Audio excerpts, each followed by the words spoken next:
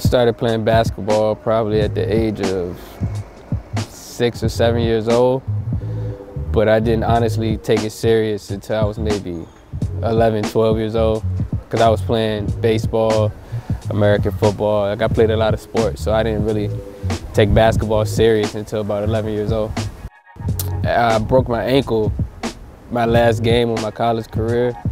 So I had maybe two or three NBA workouts and I couldn't do them.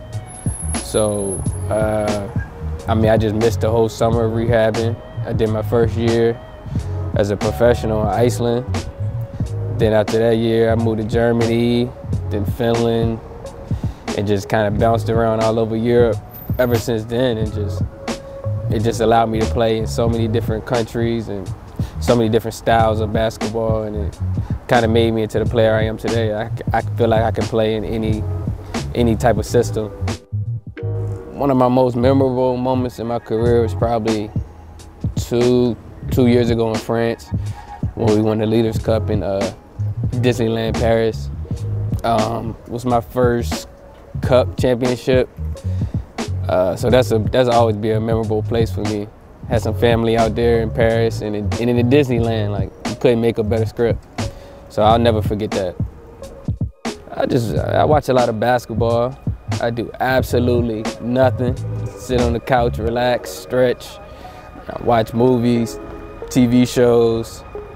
I'm just really a homebody. Like I stay in the house, mind my business, talk to my family. And that's all I really do. I'm kind of boring these days. Maybe I need a wife, a girlfriend or something, I don't know. Pluses and minuses of being a professional basketball player. I guess the plus is that you get to do something you love every day. Um, not a lot of people get the opportunity to do this every day. So you try to, you know, you have to appreciate it. Um, as far as the minuses, for me, you know, being a foreign player, just being away from home, being in another country, another continent, uh, the time difference, you know, just sometimes you don't have a lot of free time to, you know, hang out and go out and do some of the stuff young adults do, but it's the sacrifices you make to play this game that you love. So, I mean, it kind of evens out, but those are kind of my pluses and minuses. Everybody that knows me knows that. I like to joke, I like to have fun. So, I mean, if you see me on the street, you know, you can speak to me. I don't bite. You know, I'm not, you know, you can talk to me like I'm a real cool guy. And that's it, man. I just like to have fun. That's really it. I don't really take life too serious. I just like to have fun with good people.